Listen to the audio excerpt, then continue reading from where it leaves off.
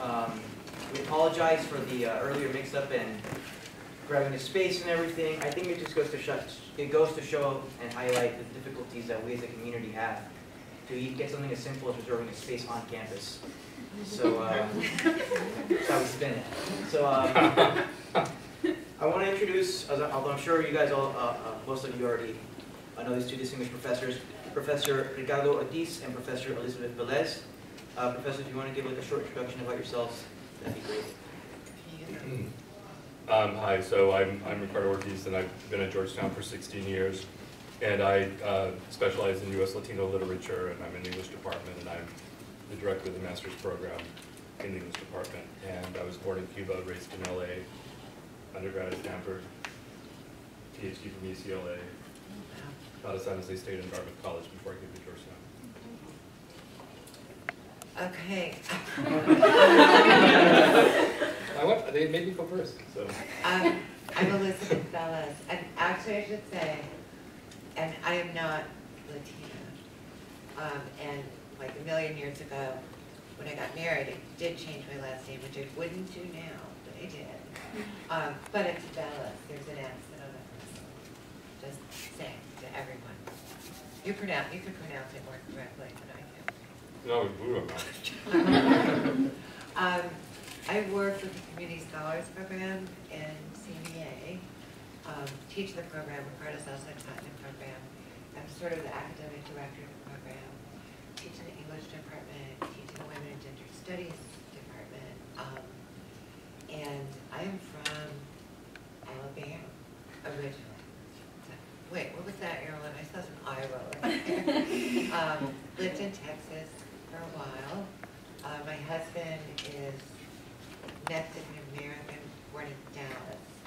Um, his grandparents came over from San Luis Potosí at, in the early nineteen hundreds. Um, I have two sons, both of them are Latino and white, I guess. So, and I have a lot of interest in Latino, Latina literature as well. I've been reading it for years, but I'm not an expert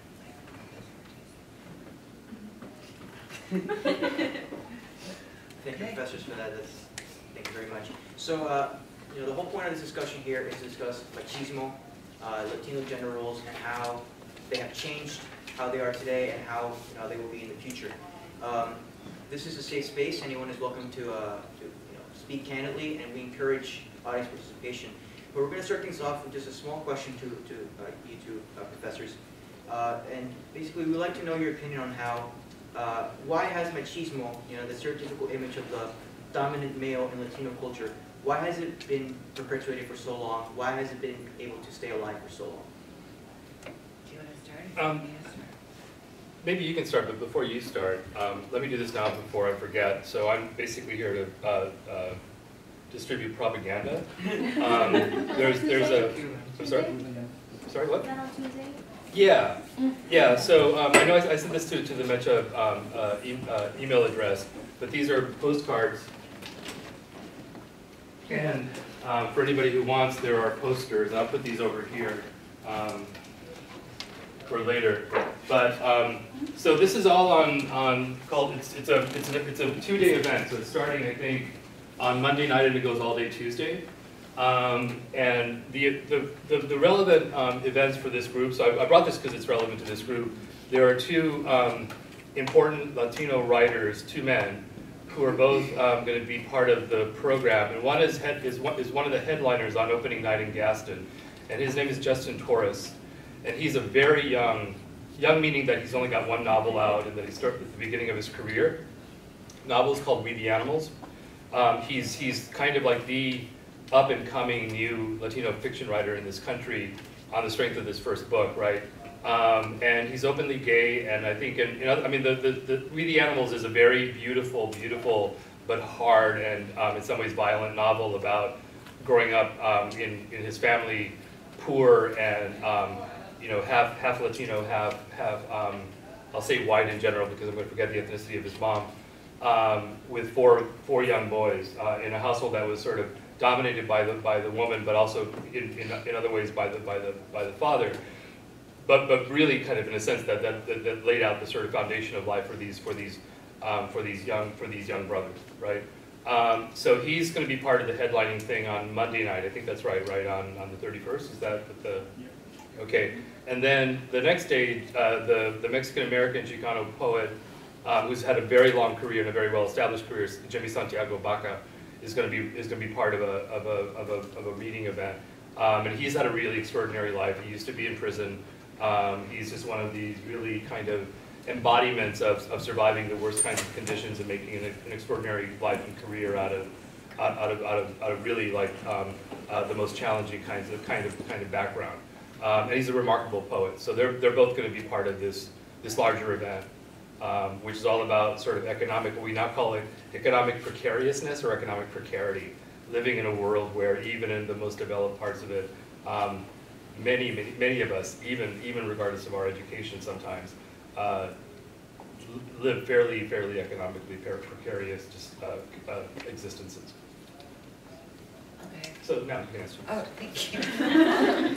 Um, so, do, would you mind repeating the question? I Of got course. very caught up. Um, the opening question I thought we'd start with would be like, uh, in your opinion, how has machismo and the stereotypical gender roles of Latino culture been able to stay alive for so long in our society and our community to this day? Okay. I mean, one of the things I teach is feminist theory and the Women and Gender Studies program. And I think why and how are two of the huge questions that we don't, we're never able to answer, but it's sort of where we begin. And I think that question assumes a truth that, yes, there is this thing, this construction of masculinity called machismo that has been part of Latin culture for a long time. Um, historically, I am not equipped to talk, but I wanted to bring you another voice, and I wanted to bring you the voice of a Latino writer. Um, have any of you read, I know some of you have, Junot Diaz? Who? Yes. Junot Diaz, he, he's a Dominican writer. Um, and lately, his latest book is called, um, This, to this is how you lose her. this is how you lose her. And it elicited a fair amount of criticism because it's about women and the way he loves women and adores women and what women look like and what beautiful assets women have and how gorgeous Dominican women in particular are.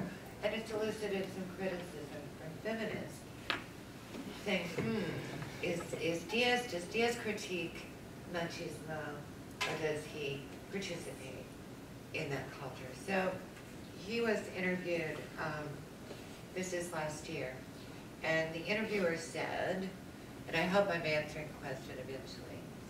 I'm gonna let him answer it, not you, but.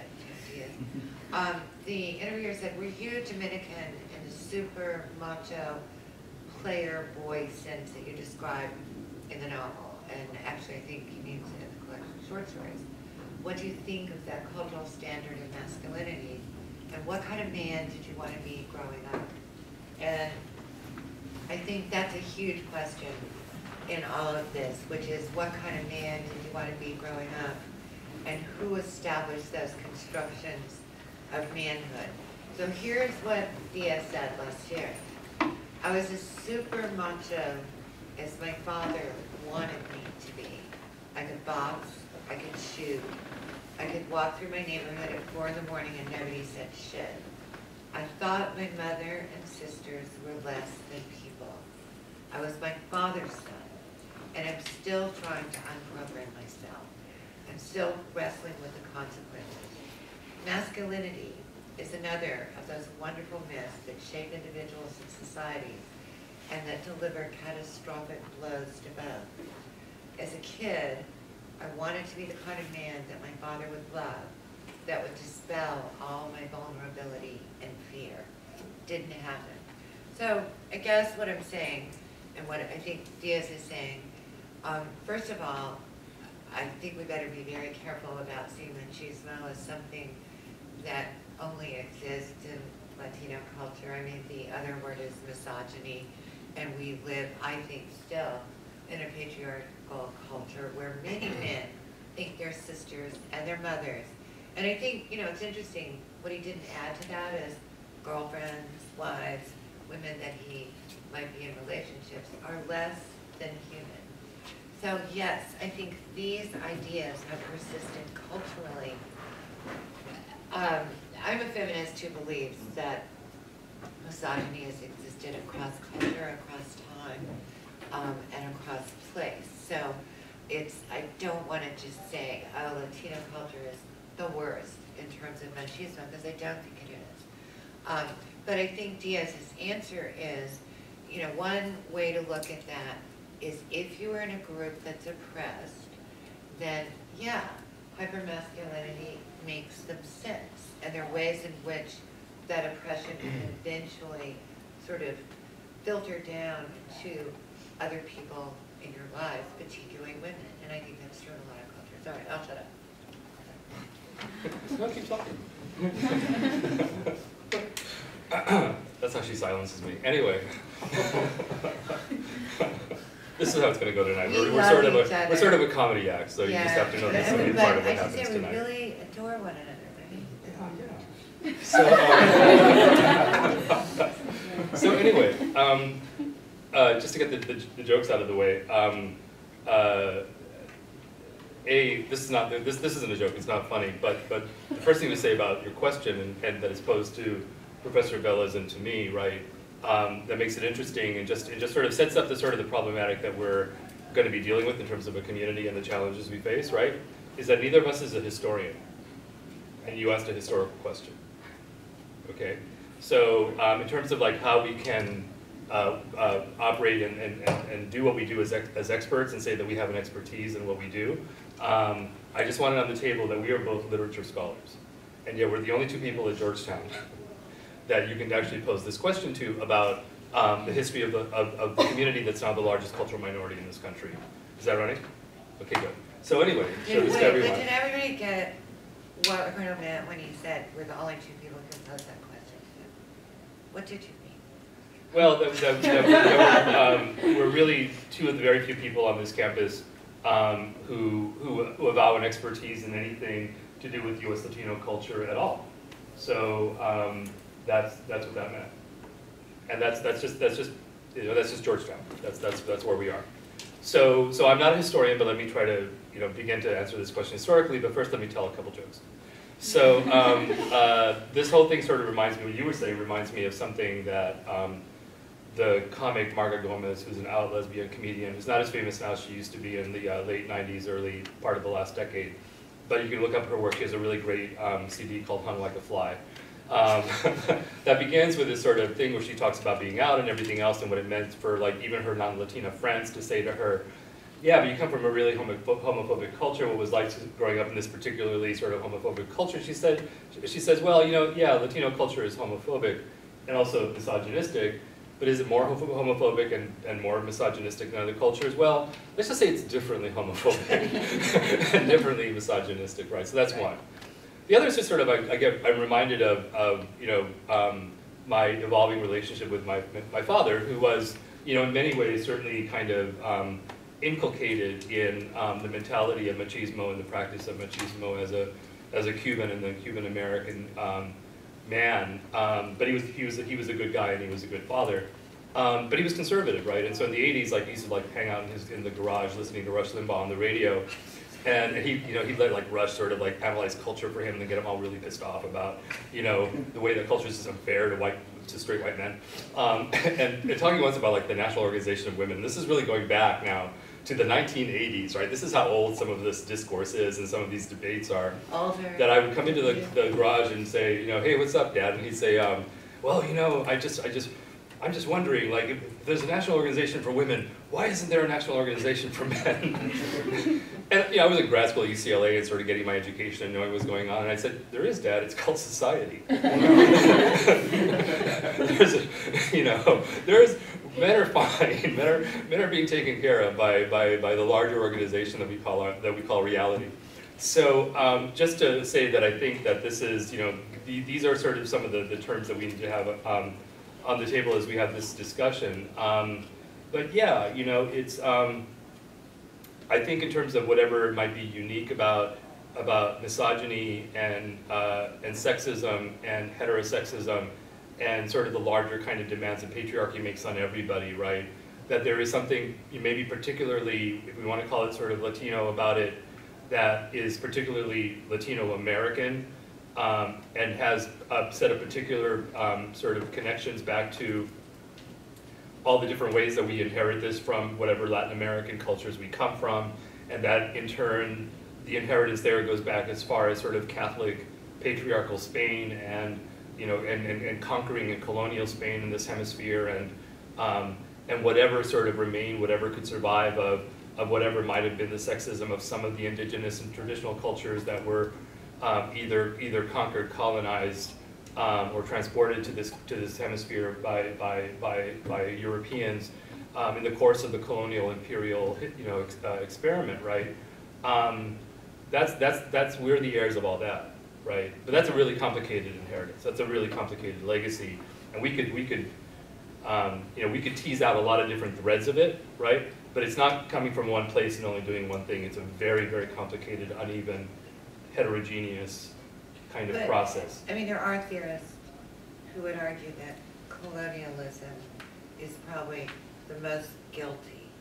And, but again, I mean, we're not historians, um, but in terms of creating machismo, and I think Ricardo's right, there's lots and lots of different threads, and there's plenty of guilt to go around. So to say that we know, I think is. Thank you very much for that, professors. And uh, so, as you guys said, you guys are not historians, so let's shift the conversation to now. And I'd like to take the opportunity we're good at math. We know something about now, but go ahead. we like to, uh, we like to open the discussion uh, to everyone in the audience, including the professors, to, you know, kind of have like a back and forth going. And, and uh, I'm just gonna throw some, some points out there for you guys to consider uh, before we get going. And that is, um, the, the now of Latino culture. Let's, let's start uh, at Georgetown, for example. Uh, the two biggest Hispanic groups on campus, Mecha and LaSalle, are headed by women. Uh, to the extent of my knowledge, uh, there are more Latino women than Latino men on college campuses uh, in the whole country. Um, despite that, despite the fact that women are making incredible advances in higher education uh, at higher, at faster rates than men, you know, we still have, as we just said, these stereotypical gender roles of, of, of the Latino, of not, not necessarily Latino, but the machista dominating women in this culture. Um, keep that in mind, uh, and, and let's hear from everyone here. Okay, no, I, I'd rather hear from you. Yeah, what, what, what do you guys make of the, the reality that Jose just kind of described? I mean, I guess I'll just throw something out. Ahead. Yeah. Um, I think that um, at least dealing like through like um, our fraternity and a lot of the stuff like that we have found out like through research and a lot of those things, the I think masculinity is what's holding them down. Um, the whole entire factor of like you have to be prideful, you have to like stand up for yourself. You can't show fear, you can't show pain, you can't show this, this, and that. Like within the Latino culture, is the same thing that's holding our Latino males behind Yeah. is the reason why they're not going to college, is the reason why they're not graduating from high school. And it's the reason why like a lot of them drop out of college.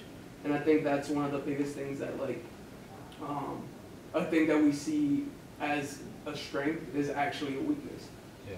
I think, um, just to, to add to that a little, I just got finished sitting on admissions. Um, and I looked at a lot of Latino, Latina students, and just to go back to this idea, it's not just Latino men that are more represented, I mean, less represented right now. There are more women in college campuses, period. Right. In the African American community, more than in the Latino community, there are fewer men applying to college, but you're right. There are fewer Latino men applying to college than women. Georgetown is one of the schools, and I just think you should know this because you go here, that makes a very conscious decision to keep men and women pretty much in equal number. So that at this point, you get a tiny bit of an edge, which I don't argue with, because I think colleges make all kinds of, the ways in which admissions make decisions. It's just, there are many, many factors. But it's a, it's a affirmative action for men. Well, a tiny edge of your that's right. Because there is this concern about, gosh, what would happen to a school that was seventy-five percent women? And there are schools where that's happening. And people are thinking, oh, well, what's to go there? You need, it needs to be fifty-fifty. But in response to your question about masculinity and machismo hurting young men, I absolutely agree. One of the things that Diaz said, I read a lot about what Diaz thinks about machismo, and and what I like about him is that he makes it so clear that it is a struggle for him to decolonize his mind, to get this, you know, to not internalize his ideal. But one of the things he said, there's one place in, you know, a machismo culture where men can be really, really vulnerable to women, and that's in bed. But otherwise, you have to be tough, nothing can get you, and as you say, you have to be prideful. And I agree, those things, I think, raising two sons, I think those things are destructive. So I think you're right. Yeah, I, I mean, I, I would say that it's been a really frustrating thing to watch happen because, um, uh, you know, I mean, I, there, there are a lot of different ways that I could connect my own success, right, to, to being gay and to um, having a different relationship to my masculinity than maybe the conventional Latino, young Latino man coming from a background like mine would have, right? So, you know, I mean, my family got here in 1966. Um, you know, typical sort of Cuban American immigration story, but we didn't have anything. I mean, it wasn't like we brought all our property with us like people think all those Cubans did. Um, uh, you know, that we, we, we were we were legally allowed in the country, so immigration was easy, was legally easy. Um, once once you were allo- allowed in, um, and there was a so- sort of a social support network, and, and we did we would get sort of like you know um, state support too when we were starting out. Um, but my parents both worked in factories all their lives, and um, uh, you know, and, and, and so I grew up uh, in a very working class background. My father was, as I said, in many ways a very typical sort of Cuban, Cuban American man. Um, you know, I didn't know that I didn't, I didn't know that I was gay for a really long time, but I but I did know that I really liked to read. I did know that I really liked to draw, and I really liked to have certain kinds of, you know, I was creative and, and expressive and imaginative and all that, and didn't wasn't all that into sports. Was totally, you know, uncoordinated and uh, and, and kind of too competitive for my own good in other ways, right? But still, just not not somebody all that interested in, in beating other people up, um, or being or, or having a certain kind of aggression in general, right? No Um, football. Or anything like that, right? Um, and, and, I, and I actually grew up, even you know, in spite of my father, I grew up in a household of women because um, my my, my my mom's mother came over with us. So um, since both my parents had to work, um, you know, outside the home, it was my grandmother who raised me and my two sisters. And then my dad actually had a, a, a, a swing shift job, so he went to work at three o'clock in the afternoon and came home at two o'clock in the morning every weekday. Which meant that when I came home from, when my sisters and I came home from school, it was my grandmother who was the mom figure who, who was there to, to take care of us um, uh, when we were kids, and it was my mom who came home from work, from the factory in the afternoon at dinner time, right, to lay down the law. right, and so I, we only saw, saw my dad over, over the weekends. So in a sense, even though I sort of feel like I grew up in a fairly patriarchal Cuban American household, the patriarchy that was sort of um, in, in place day in, day out that I experienced most directly was the one that, my, that the women in my family, that my mother, that my mother and grandmother um, kind of uh, uh, enforced, right? Which is different than having a really sort of, you know, um, domineering, autocratic father in the house who's really sort of being the one to lay down the law. So I think that made my, my relationship with my masculinity, masculinity different anyway. But I was still the oldest and the only boy. So guess what, right? I was a prince. And um, I was, I always, you know, I, I, once we could afford it, I always had my own room, and my two sisters always had to share a room. Um, I could go anywhere, anywhere. Like, you know, I, we, I grew up before the helicopter parenting thing started to happen, right? So as long as I was home by dinner time, you know, from between school and, uh, and, and dinner, and as long as I did my homework, I was free to roam the world. And your And, sisters. and my sisters were not, right? I mean, they were just, my grandmother just, just, just over, you know, oversaw their lives like this, you know, Um, I like to say that I was, I was sort of raised by a pack of, of Cuban she-wolves. Was really more of my sisters than I was that were, that were, that were raised that way. I was, I was allowed to be kind of a, you know, yeah, a, a, a- wanderer, right? I mean, I, I had a freedom that I, I, and I know now that that actually, that all of the, all the privileges that I that I got came at, came at my sister's expense, right? Um, and that a lot of sort of the life, the life that I've been able to have is different because, because I was raised so differently than my sisters, even in the same household. So patriarchy did one thing for me and did another thing for them, but lucky me, a, you know, being gay in a sense sort of meant that I, I was never gonna have a certain relationship to women in terms of how I was gonna relate to them sexually. So that meant that I didn't have to prove a certain thing about my masculinity through that, okay? And then I was, you know, once, once it was cool that I wasn't gonna be an athlete, and once it was cool because I was getting great grades and because I was a really good student and everything else and had my own, my own, my own set of ambitions, right? Um, that was fine. I, you know, it was, it was fine. And, and, and I came out much later. I came out in my late twenties, so, um, in terms of just sort of negotiating that, that was a different story. But, but really, in terms of growing up and in terms of the, the, the signals I got, I kind of, in a weird, ironic way, had the best of both worlds. Because I didn't have, I, I didn't feel the pressure to be tough, which meant that I also had the freedom to be articulate and to, and to, and, and, and expressive, and, and in a way, almost kind of vulnerable, right? At the same time that I was, I, I did have the masculine privilege of knowing that I could, you know, run around the world and, with, without a worry, and not feel vulnerable in the sense that I could just do things that, that, that even today I think women don't ever think they could do on their own. Okay, that's just- So, um, at least with my family, my dad, at least I've noticed this in my family just by the fact that there's a lot of, um, single mothers my family, you know, men, you know, typically leave. And I've noticed that through my dad, he was the oldest child, and he, you know, he was always supporting his mother. And just seeing my grandmother struggle throughout his life made him a very strong supporter of, like, taking care of his female cousins, his aunts, his, um, his mom. And I've noticed that the way that he's raised me and my brothers, it's more of like we're have we have the advantage. My my sister and I have an advantage over my brothers because my my brothers are taught that yes, you have to be very hardworking, so kind of like that machismo principles. But at the same time, you are going to be treated just, just the way your sister is. For example, I wasn't allowed. I was very limited if, um, with going out. They're going to be treated the same way. Um, for example, they we both have to go to college. We both get the same privileges at the same ages, so we're set at the same standards. But at the same time, um, my brothers have to protect my sister and I in the sense that you still have these slight rules, but they don't get any advantage that is typically seen in society.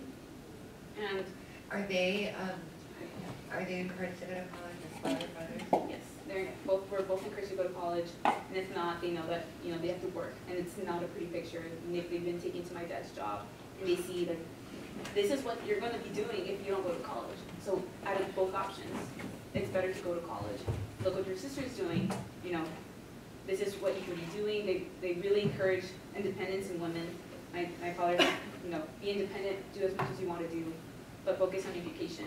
So it's very. I've noticed at least in my family that the more men that are raised by single women have a stronger protection towards women and kind of seeking for their independence rather than keeping them machismo.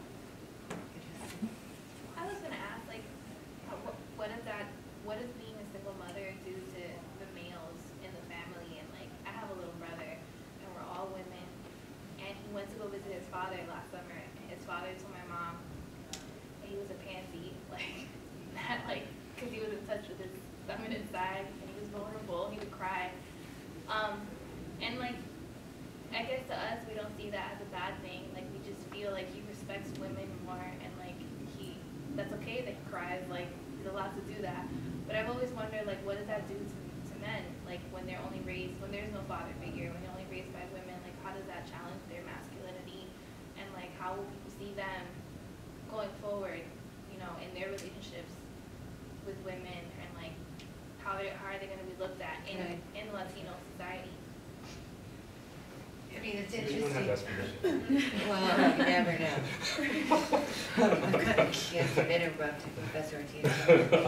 Um, That's an interesting question, because I think right away, machismo is a big part of that question. Like, what does it do to men and their masculinity to be raised by women? What does it do to anyone to be raised by a woman? And the response is, if we're in a culture where machismo is a part of it, like your dad's response, which is, you know, His, his dad. sorry, sorry, okay. Um, his response is, it'll turn you into a sissy. Professor Ortiz wanted to call this, um, evening machismo is for sissies, which I thought was a great title. Because ultimately, it is, it's about fear, it is about being afraid, and it's like his dad is afraid that he won't be a man, he won't be tough and strong enough. And it's a perpetuate, it perpetuates everything we're talking about, I think. Um, I teach a course on motherhood now, actually, a couple of people who are in the class. And, um, the idea that being raised by women is this thing that could distort your sense of manhood is, I can't even begin to fathom that. But I understand that culturally, that's a big idea. Freud said that people, young men are gay because their mothers are too attentive to them. So it's certainly embedded in the culture. Um, yeah, so if we take a step back and look at the world that we live in today and look at all the different ways that it's changing, right? Um, you know, I, I just think we're living in really sort of historically interesting times. And I think that um, for those of us who, whether our families have been in this country for generations or, or much more, more recently immigrated, right? Um, the cultural shifts that we've gone through and that sort of immigrants coming to this country from more traditional cultures are, are going through, from, you know, just making that move from, from more traditional spaces to, to a place that, that's much more sort of defined by a certain kind of liberal modernity, right? Um, that, you know, and in the ways that, that we, once we get here, are, are starting to sort of uh, figure out the ways that we can survive here and even thrive here, that in a sense require that we negotiate and kind of, you know, um, uh, refuse to conform or, or fail to conform to the, the demands of the traditional cultures that we're from. Um, that's part of a larger sort of um, process of modernity that, that I think is sort of bigger than us, right? And that if you look especially at this country and other places where um, you know, feminism certainly has sort of changed the game in terms of what's possible for women, right? Um, but, and where um, anti-homophobia is starting to really change the game for what's possible for people who, you know, who are queer identified and along that whole spectrum. Um, and I think that I think that even marriage equality is part of this picture, right? That um, the, the the whole sort of the, the, the, structure and what's possible in terms of how how we reproduce and how we how we raise the, you know succeeding generations of young people into this world is is, is such a rapidly shifting um, picture right now, right? And we, we plug into it as immigrants from Latin America in this country in a particular way. But I think that, you know, I think we're, for that reason, I think we're still gonna hear for a couple more generations this story of the sort of the sense of the loss, the loss of, of possible masculinity because um, young boys are no longer being raised in households where there's at least one man who espouses this kind of traditional masculinity man, right. right? Or well, not necessarily straight, but yeah, you know, um, I mean, there, there's some, anyway.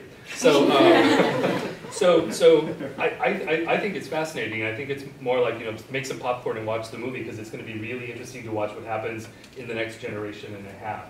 And for those of us who teach, you know, at the university, we get to see it in a really particular way because we see these waves upon waves of young people come to our come to our institutions with really, really different life stories now than the ones that we heard 15 or 20 years ago. And so um, I, I think we're in the middle of a very, as I said, this is I think this is a really fascinating sort of ongoing process.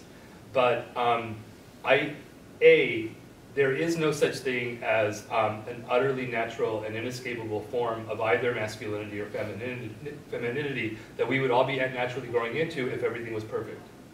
And if every family was sort of like the way that the, the traditional family was supposed to be, where, and again, where everything is perfect. That's actually never historically existed. But to the extent that we sort of thought it did, because more people were doing it than not, um, I think we're, I think we, I think we, we, I think that ship has sailed. I, I think, I think there still can be traditional families. I just think they're one option among many, many others, and eventually we won't think of one as more traditional than the other. So I think that that's where we're headed. So again, I think in terms of like, what, um, even this, this current generation of, of of adolescents, let's say kids who are like between ten and sixteen right now, and, and let's say mostly in the sort of in the, in the developed world, what they're seeing in terms of the kinds of options they have to go into the world gender. Just gender, right? It's totally different than what I thought my options were in the nineteen seventies. And then I thought my options were in the eighteen fifties and sixties, which go back to changing my name again. But, I mean, just to support that, because this all sort of, I love the way it all sort of connects. Um, In the motherhood class, what many people want to know, well, women are natural mothers, right? And that's kind of what you're suggesting, that women know how to raise children. They know it in a way that men don't know. And um, that's, women are made to do that. And certainly, in this course, we argue with that construction of motherhood. But to my mind, what Ricardo is saying about, there'll be lots and lots of ways to have families. When I think about parenthood as being gendered, there's a father who's tough and he's gonna protect. And that whole word, that protection thing makes me so uncomfortable. But his job is to help protect, in particular, the weaker women. You have to be protected if you're a woman because you're weaker. Otherwise, you don't have to be that protected. Is, I think that gay marriage, where you have two parents of the same gender, is gonna change that whole discussion because what is mother gonna mean? What is father going to mean? We can no longer attach mother means woman, father means God. And perhaps we'll drop that language altogether and talk about parenting children, which I think that we're getting to that place.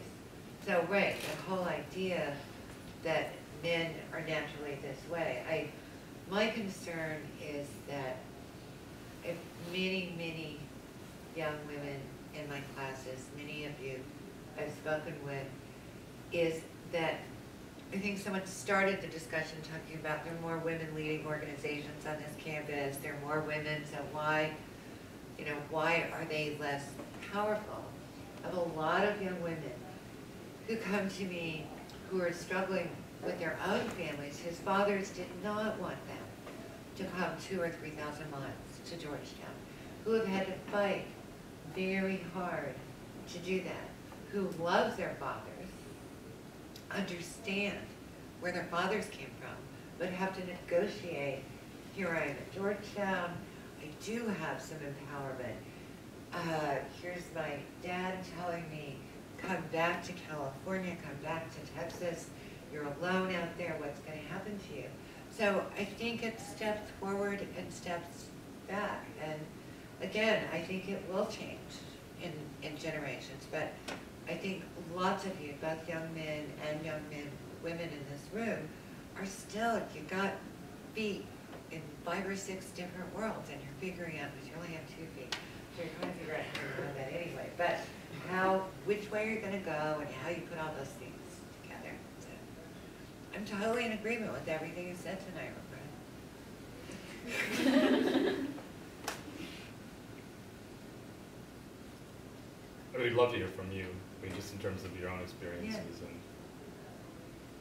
I guess I want to throw a question out to like everybody. Um, since we were talking about traditions right now, like the whole protection aspect of it, um, how does that play into like just like the relationship roles, in terms of not just like you know the father like daughter kind of thing, but like within a relationship, the whole like who pays for the first meal, who asks anybody out on a date, are you gonna hold the la- like the door for the lady? Who do you hold it for?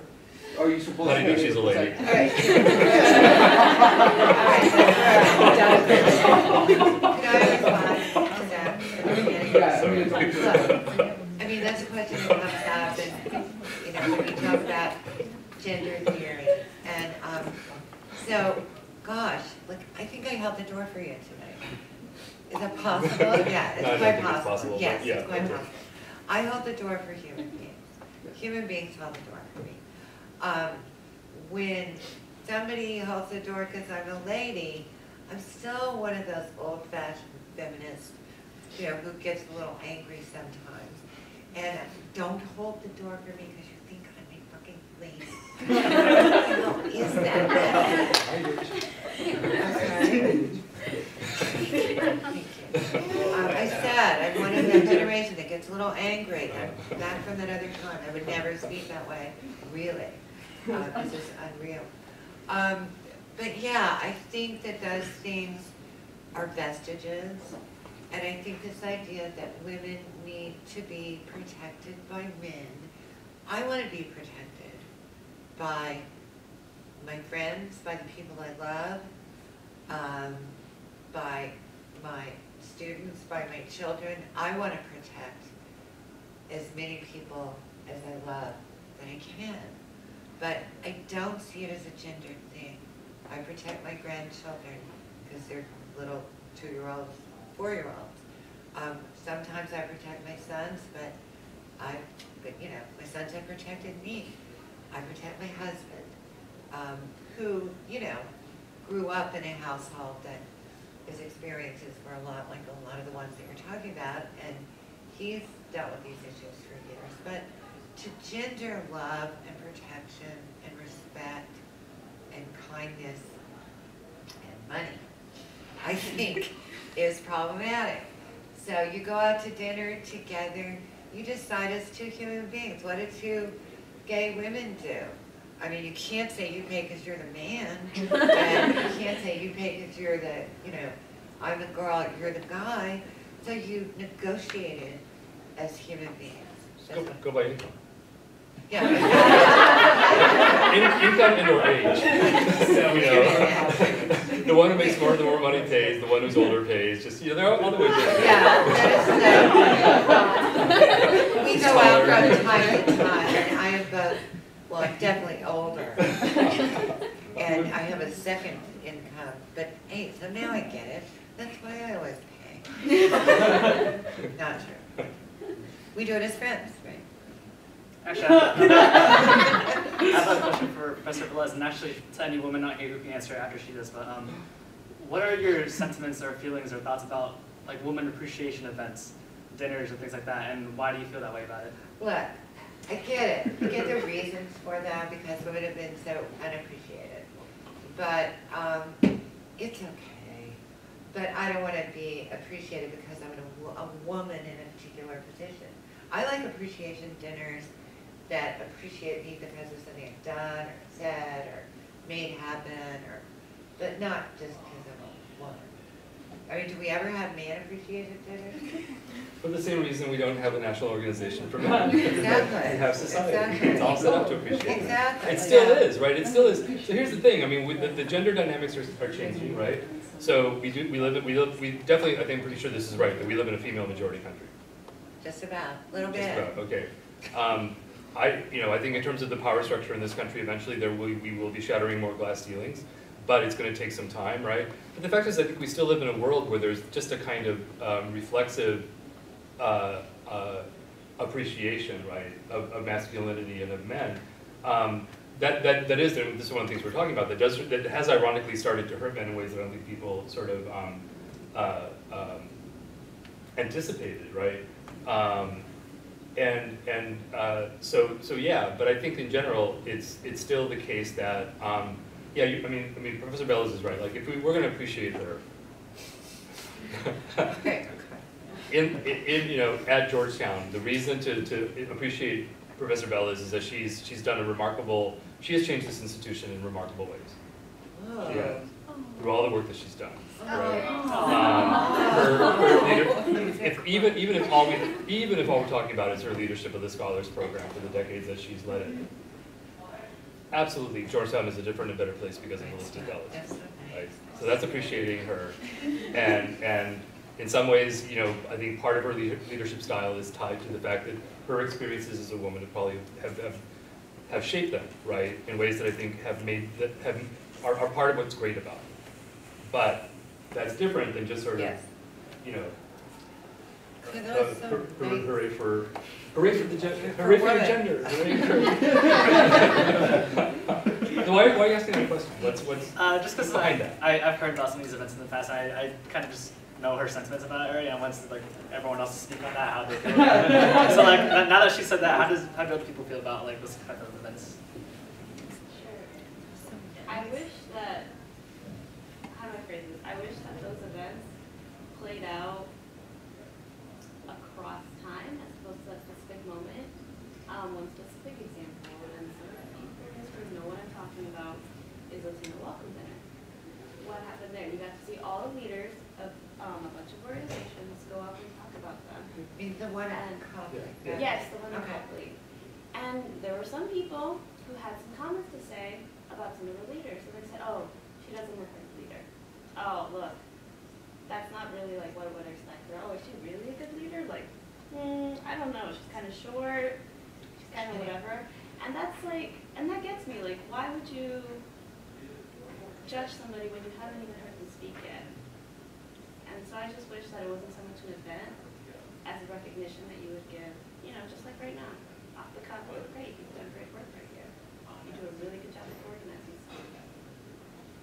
I think on that same note, I might, I guess I just wanna like, um, expand the question a little bit. Um, like, we're all familiar with like racial microaggressions. Like, um, I guess, this would probably go out to like the women in the room. Um, but, uh, I guess what are like the most common, like, I guess we call them uh, misogynistic, like microaggressions that like you deal with them like on a day-to-day basis? Um, just that kind of question, go further. I've had, I'd like to hear from, I've you had people ask me like, your mom, and your mom let you come here? Like, she What? let me leave my house to go to college. Like, I was like, I don't know what that means. Because you think you're a woman of color, No, because I'm a woman, because? I'm a woman, like my mother let me leave. I've heard this more specifically from my own people, like from Dominican people, like your mother let you leave your house to go to college, like. I, one time I got really angry and I was like, I wasn't going to be a part of a prostitution ring, like I was going to get an education and I didn't have to ask permission for that, like she wanted me to leave, she encouraged me to get the hell out of her house, like. But yes, I've been asked that and also like, um, um, more recently, like if I, because I'm in a relationship, like if I was going to, if I was going to, if I was going to have, like if I was going to let my kids grow, I don't even have kids, I'm not thinking about kids, but if I was going to let my kids It does, it- grow up in his religion or in mine, and I was like, I don't even, I don't even know what that means, like, they, I don't know, like, they could do whatever they wanted to, believe whatever they want to believe. And they don't exist. Exactly. I have political children. So, I mean, a lot of this obviously, again, does, um, is related to how close and how, how kind of, um, you know, you, how much you've been sort of, um, uh, the word that, that cultural theorists would use is interpellated into these more traditional ways of thinking, right? And thinking that this is the only way that the world can be, right? Uh, and then you watch people actually not be that way, and you think, oh, how is that even possible, right? Um, I mean, I remember like in the, in the, in the eighties, watching sort of like Jerry Springer, and we'd have like cross-dressers on, right, when they were called cross-dressers, right? Uh, uh, and, and some, some person in the audience would be like, that's unnatural, that's unnatural. It's right in front of your eyes, no, it's quite natural. Look, you know, a woman can wear pants. Uh, so, so, um, it's, it's, uh, it, it tells you a lot about, about, about ideology, it really does. It tells you about a lot about the ways that, um, uh, you know, factors in the world that actually are not at all uh, natural or God-given feel that way to people um, who, for whatever reason, uh, have, have been, have been, you know, and I'm not saying brainwashed, it's, it's, a- we're all, we're all sort of in a way, kind of the, the, you know, subjects of ideology of one, of one, of one sort or another. Um, but, but yeah, just where, where um, you, you hold on to um, ways of thinking that the world is, um, even when the world right in front of your eyes is changing in ways that, that you won't ever be able to stop. And, and that in a sense aren't bad, aren't bad changes, aren't bad things that are happening. Um, and maybe you're actually positive to the extent that they're more liberating, right, and more empowering of more people. Um, you know, isn't that what you want if we're all ultimately equally, equally human, right? I mean, in terms of misogynistic microaggression, I would say number one, still it's a really long time. So I don't feel it the way I think younger women do and might. I feel like I've defended the whole, myself as a woman, you know, done, I've done that. There were situations, I think for all what of was it, what was us. it like when you first got, came to Georgetown? Well, it's funny, because last night, I was on a panel at the Women's Empowerment House, I don't, that, it's right down from Renaissance House. And, um, we talked about that. So I came to Georgetown as a graduate student. And this, and I'll just tell you a couple of things. Um, this was in nineteen eighty. And I had gone to graduate school in New York before that. I had a master's. Um, came here for a master's program and I never left. That's kind of my story. And that's a whole other story. But, um, the, for the two years that I was here in the program, I did have one woman as a professor. As an undergraduate, I never had a woman as a professor. When I got a master's at Columbia in New York, I never had a woman as a professor. And if, if, if one thinks about that now, to me, that is just unbelievable. So when I came here, the English department was male. There were, there was Joan and Leona and Judith Farr, and she was later.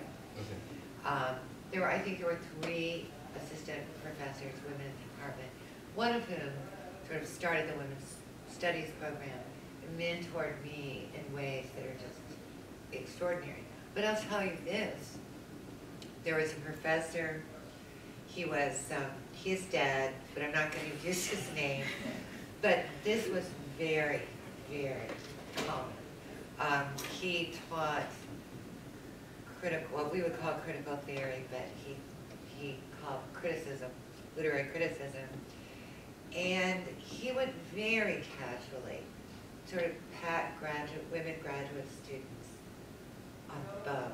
Like he would be in the kitchen and he would just come in and say, hey, it Job never. And I was like, I would be, you know, excuse me, but that's it. That's as far as I went. I wasn't like, don't touch me, how dare you, what the hell do you think you're doing? Um, because at that time, he was old and he was kind of losing it a little, and I sort of felt this, oh, poor old guy, whatever.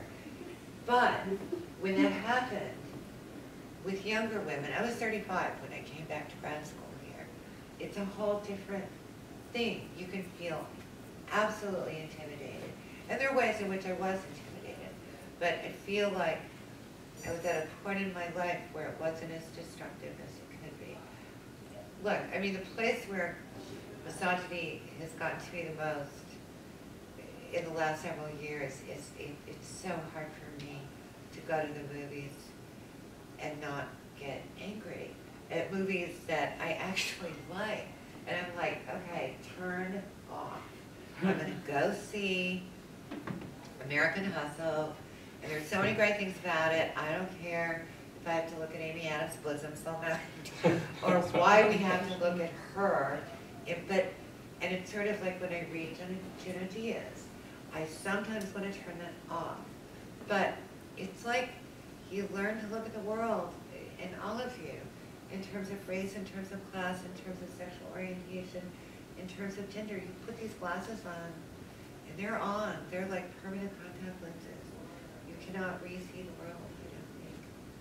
But you also, I think, to go around being angry all the time is so hard, and you guys know that. I mean, that, that people make you angry so much. And I'm not saying that you can control that, but the, the purposes to which you put that anger.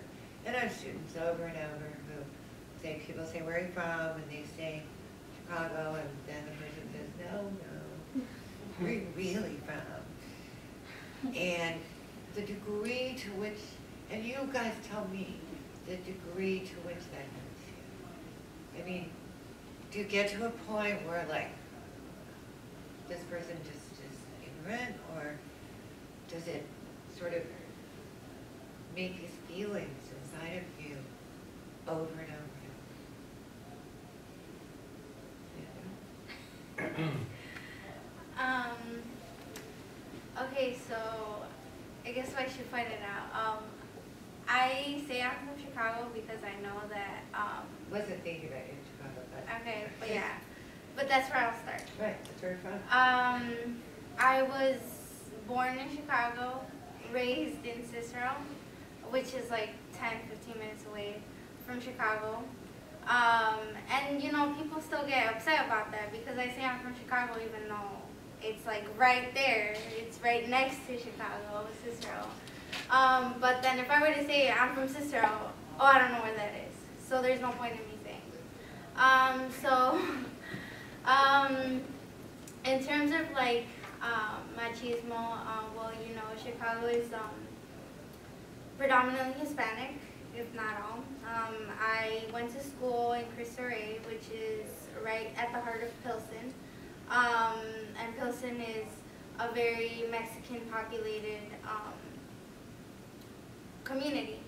Um, and essentially that's where I was raised too because I went to a church there.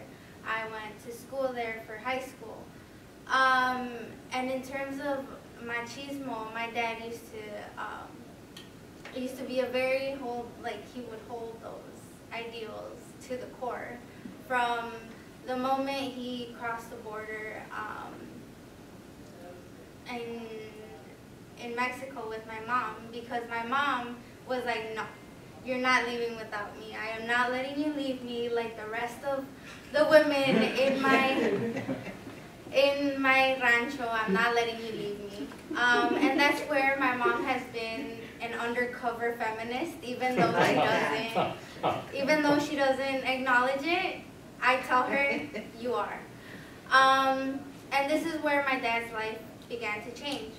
And my mom from the start told like would always be like no why do you have to do this why why do why do you have to follow whatever your dad says that you have to whatever ideals he taught you um, and again my grandfather was absent in my dad's upbringing because my grandfather kept coming at a very young age as well as a lot of like the campesino workers in California kept coming um, every summer to the U.S. Uh, and then going for the winter back to uh, Guanajuato, which is where we're from.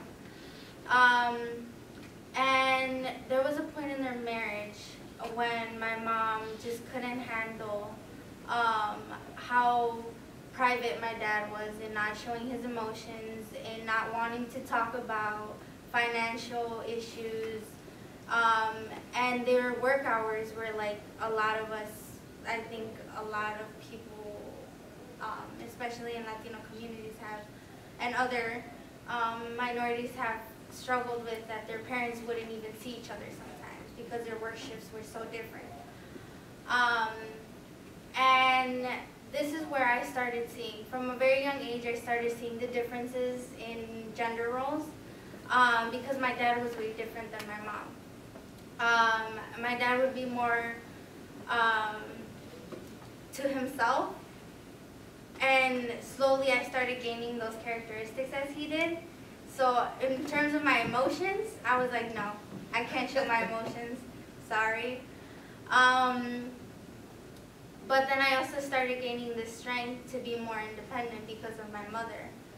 Um, and when problems began and they were about to get a divorce because um, there was also like verbal abuse there too. Um, so when they when they were about to get a divorce, my dad finally was the one that was like had to go to therapy. My mom convinced him. I don't know how. I still can't get that story, but my mom convinced them. They both went to the church where they were at, and they went to counseling um, because my mom was like, I love my daughters and I am going to protect them and I want to be with them. So you decide, do you want to be with me or do you want to be without, without us? Uh, because essentially that's what it was going to come down to. Um, and so when he was like, no, I can't, I can't live without you guys. Um, so he started going to therapy and that's where, um, after he changed, that's when he was starting feel the pressure of society to be this masculine, masculine ideal. Because people even still come to him and he was like, and not, not to be mean, but he was even, he even was being flirted by a guy at his job because my dad was, was less of like the masculine archetype. Oh, we're all right around the corner ready to pop. I'm gonna sign. And it's not, like, I was like,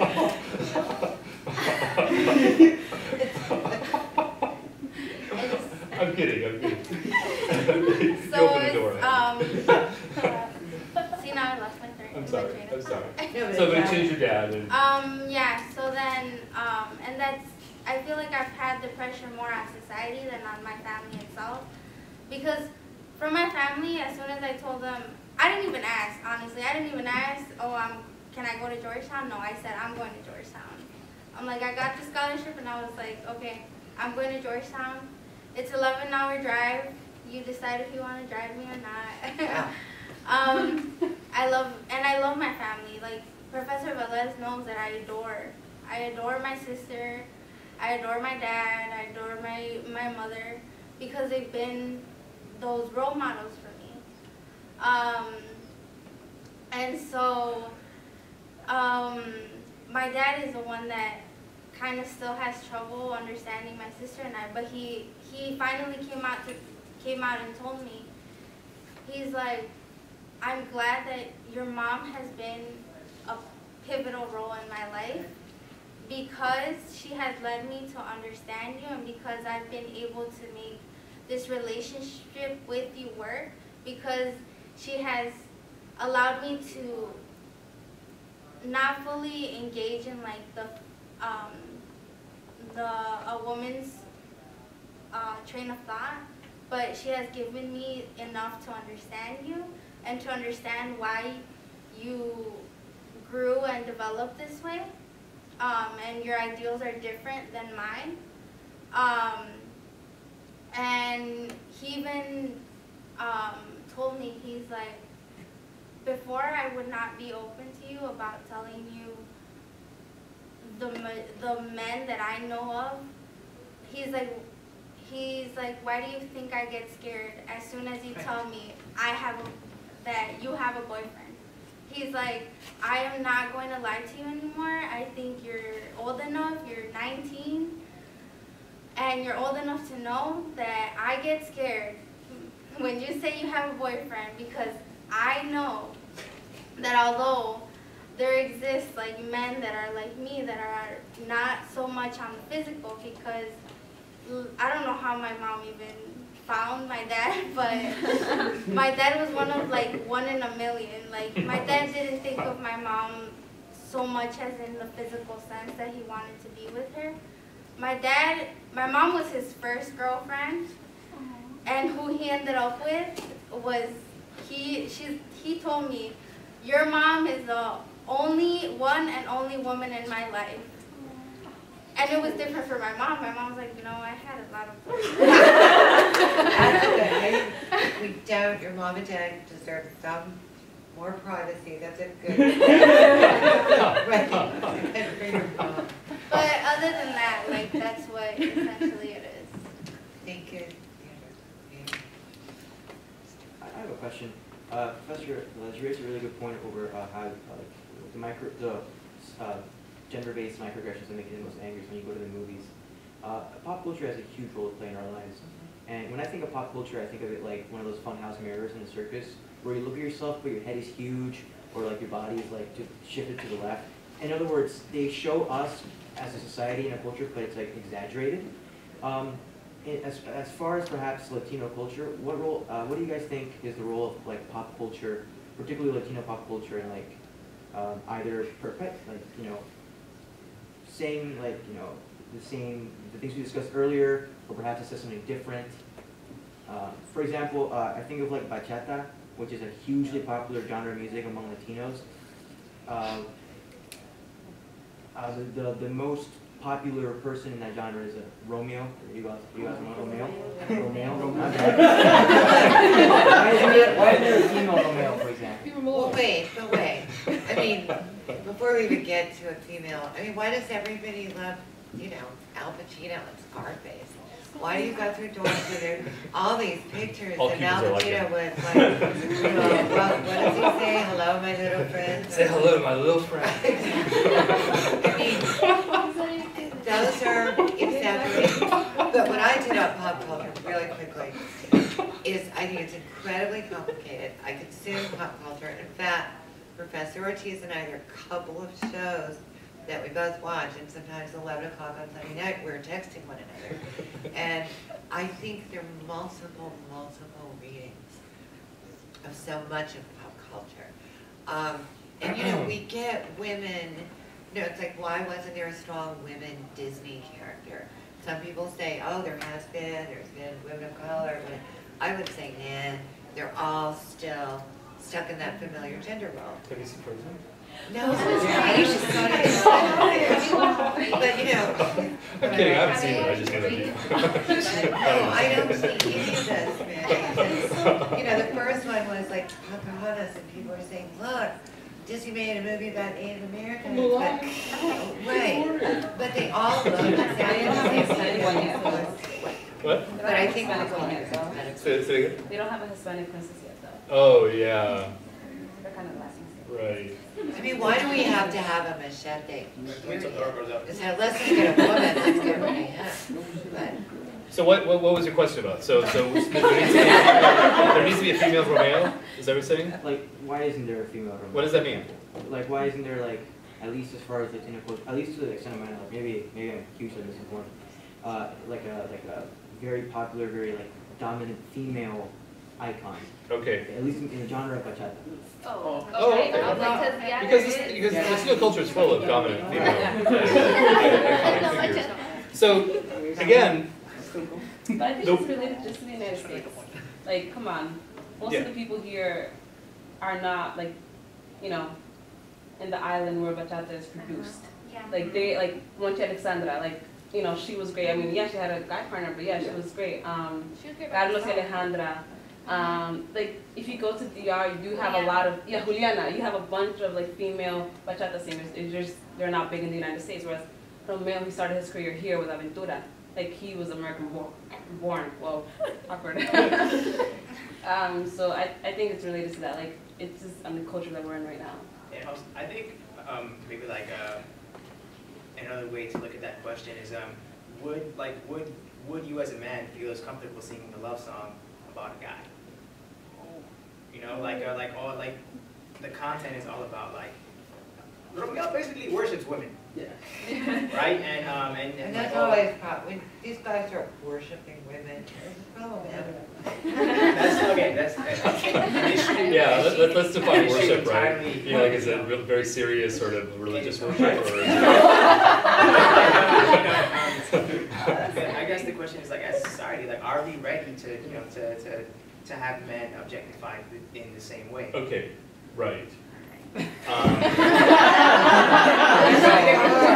Well, we are, actually, but, but pop, cul- pop culture is a, is a weird thing. Okay, pop, pop culture is um, a hugely complicated issue, right? Because even if you're just thinking about it in terms of culture, in terms of U.S. American versus Latino Latin American, um, you know, the, the sort of, um, you know, I guess the theorist who, who articulated this best in the mid 90s when all these technologies were starting to emerge is a guy named Ar- uh, Arjun Appadurai, who's um, of, you know, South Asian Indian uh, extraction, uh, uh, sort of an anthropologist of, of globalization. Talks about sort of these different sort of um, environments that we live in, that these technologies and these new sort of economic structures sort of put in place. And one of them is what he calls a kind of transnational mediascape. Right? So imagine sort of like the complexity of the transnational mediascape where um, Latin American pop culture and US American and Latino American pop culture all converge and overlap, right? So um, what's weird about this country, like as somebody who teaches pop culture sometimes in my Latino lit classes, right? Um, but in an English department, one of the things I always have to say, right, is that I'm mostly looking at English language stuff from English language broadcast uh, networks or um, uh, you know, corporations or from English language feature programming, even if it's from cable or wherever else. I'm not doing Spanish language stuff. Right? Well, this is a country that's, that's so, so Hispanophone and so full of this whole other space of culture that comes right out of Latin America and is doing a more purely Latin American thing, right? That, um, that the two together sort of um, are still a very weird and kind of uneven mix. So, um, you know, yeah, I think it's one thing if you're, if you're thinking about stuff that actually has a, uh, a, a strong anchor in, in the home countries, right? Whether it's the DR or Mexico or, or, or you know, um, I mean, Puerto Rico's not a country, but we'll say it is. Um, But you know what I'm saying, or, or, or, um, or Colombia, or anywhere else where there's like, especially anywhere where there's a large, robust media culture, right? So, um, so I think that, that part of it is a mixed bag, but, um, but the, the other thing about pop, pop, pop culture is that pop culture is a commercial enterprise whose key, um, uh, you know, motivation in the world, its, its reason to exist, is to make profit in, in the ways that it entertains you, right? And how it entertains you is not by appealing to your political correctness. It's appealing to much more basic impulses that you have and more basic kinds of responses you're going to have to stimulus, to stimulation, to visual stimulation, to oral stimulation, to whatever stimulation you get from wanting to follow certain kinds of stories and not others, right? So at that point, this is no longer about making sort of rational calculations about what's a politically correct uh, uh, representation of a woman or a man or anybody. It's more about, hey, I want to see that happen again, right? Wow, look at that. Here, I'll pay money to keep watching that. That's that's what pop, you know, or, or, or wow, I love that song. I want to hear that song again. So for whatever, in whatever way you need to sort of add this other um, dimension to that to that, to, to that question, right? To, to any analysis you would do of pop culture, is that it's it's it's it's hardwired in a really different way than maybe real life is, though they touch up, up against one another and and and they they mutually sort of interact and mutually reflect and mutually respond to one another.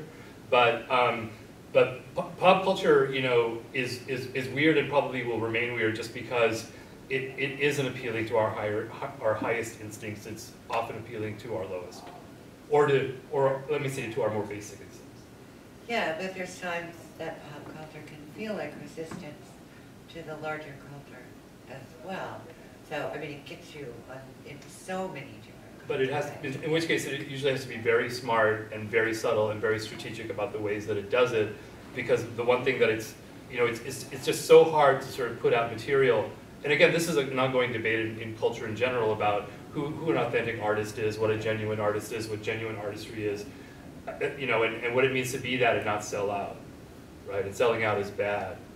But if you're not going to sell out, if you're going to insist on not selling out, you're asking for, for a particular kind of visibility and culture. And I'm being cynical here because I think it's, you know, if you're going to talk about pop culture, pop culture, I think you have to be. Um, it's not about every kind of art or every kind of artistry, but but that's that's where that's where the struggle is, right? That's where that's where that's where the dialectic is. Um, also just going off of that, um, media really does feed off of making us feel self-conscious. And I feel that that's one of the biggest things that fuels machismo. Because I, at least this is one of my problems with, um, feminism. I, I am forward for equality in genders, depending on what that may be. Sometimes having the same rights isn't enough. Um, but my issue is when, sometimes when people try to prove a point about how, how much feminism, you know, needs to continue going on, but then at the same time, that's pushing back men, and I feel like that's going back, to bringing it to machismo. Because once you're, you're oppressing another gender, we're going back to the same thing that we were. Well, I mean, I really, really hope that feminism isn't about oppressing Yeah. another gender. And, um, I mean, I think men are feminists. So, I mean, I, I don't think that we're dividing feminists are women and men are machismo. I do believe that men in many cultures could feel threatened by feminists. And I think that's kind of perhaps what you're saying.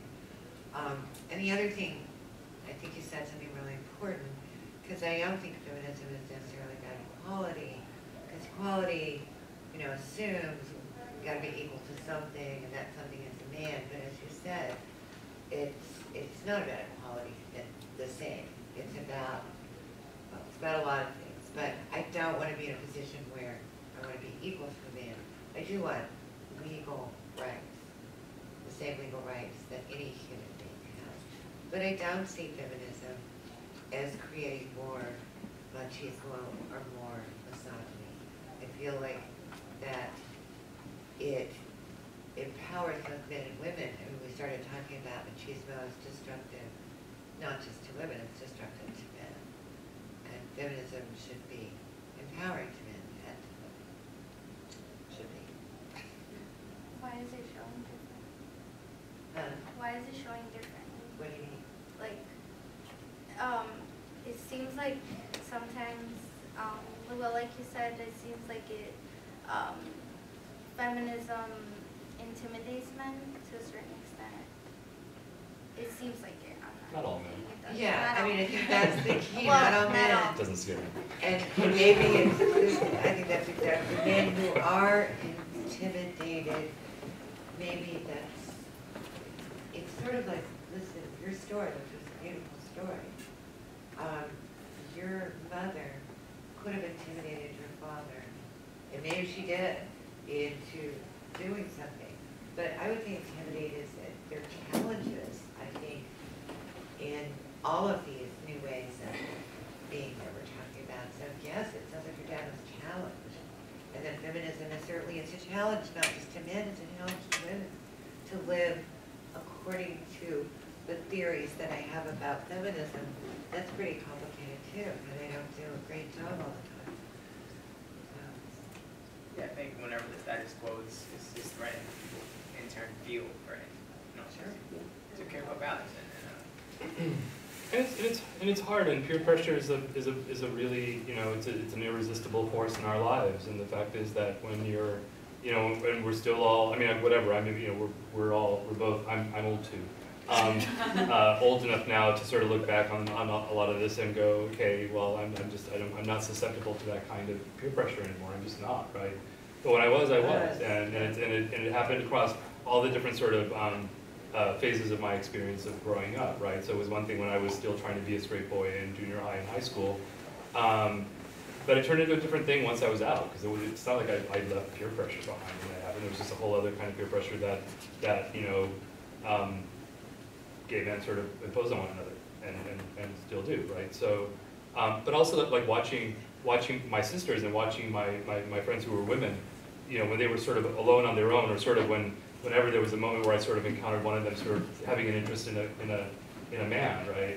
Just how, how they would change, just because, you know, then these impulses sort of kick in to sort of conform more to the way that you think you need to behave to get what you want, or to please a, certain person, or to, or to pass as a certain way in, in that, in that peer environment. That's, you know, uh, I think there's only so much that people like us can do to intervene or to, or to help you sort of figure out what to do with your peers. Because that's, that's where, that's where the rubber meets the road for you guys.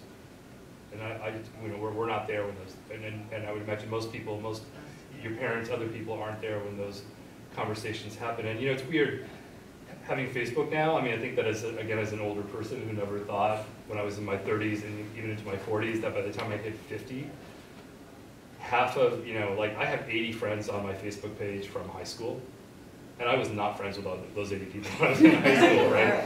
But to the extent that they've all come back in my life like ghosts that I just, you know, that I never thought I'd see alive again, right? Mm-hmm. I've done a lot of reflecting on just how, how amazingly influential we were over one another. Like those teen years and into, into college, it was true with my college friends as well. We were just like, like larger than life to one another. We were caught in really sort of, um, you know, just, just, just like relationships that lasted and that got really intense and really codependent. It didn't matter whether they were sexual or what, or, or just friends or whatever, and across genders and everything else. I mean, those people who were my peers during those really formative years were like, you know, we were like, we were like walking mythologies to one another. Is the way I would put it.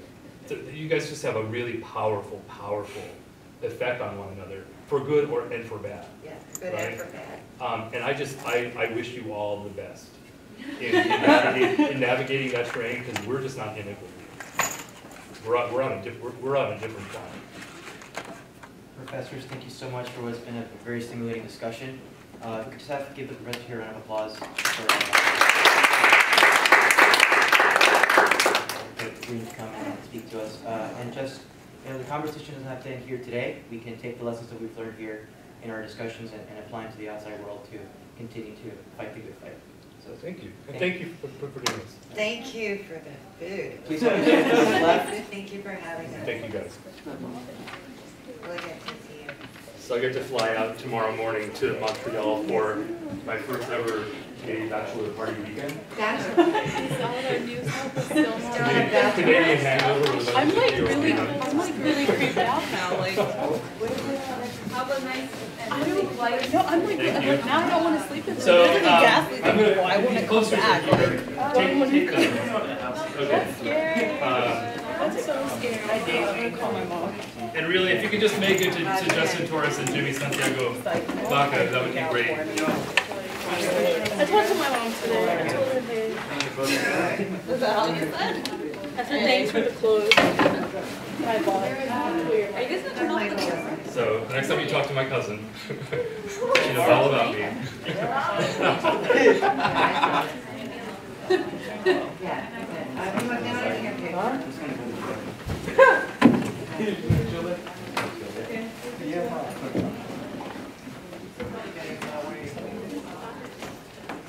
No, choose, no, we. Totally disarmed. Just, just wait until, just wait until I get to be at your retirement party. Oh, wait. Wait, you think about And I tried to give it, I was like, nothing. Nothing. Le dije que vas a tomar una foto y lo As they told them. I know. It's Christina Sue. So who's gonna be in this picture? We'll talk about it. I'm gonna try.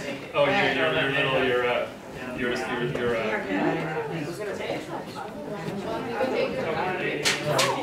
See, that's, that's my code, that's, that's totally, totally what she's You gotta put up with. Okay, in the middle. Oh, my code. Very good. Yeah, send it, send it to me. One, oh. One, Just, it's just start three. With- One, two, three. Tony, you might want to stand up a little straighter. You look a little like, well, one, two, three. Lovely. Let's. So that thing I said about the lady, about how, how do you know she's a lady, right? This is, this is how that's, his- this is very Hispanic, right? Because in Spanish, you would never say, vi una mujer que hizo algo, you would say, vi una señora que hizo algo. So it's, in English, we translate, I saw a lady do something. And it's like, you don't even know she's a lady, you know she's a woman, right? But it's, it's just, it's like a formal, it's like a formality in Spanish that we don't have. Alright, finish it. That's what it is. Yeah. Alright, guys, I'm gonna Look at that. Look at Jesus, you're go. sort of. See, I told you. What do you think of the DS stuff? See, he's trying. Thank you so much for coming. Why do you work this way? So, so now no more events, right, until they begin? Oh, that's right, that's right, okay. Yeah, there'll be, you're gonna do it. Yeah, and then there's. Uh, Despedida, no, not a graduation, no, you never uh, said, uh, you never said. Thank you for coming. Thank you, good to see you.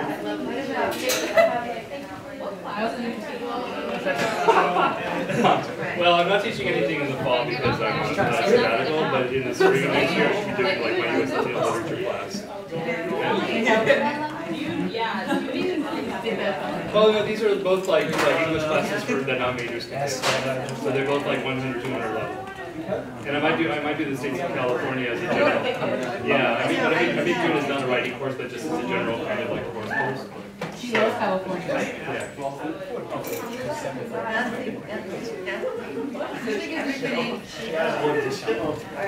Alright. All right, up to Canada.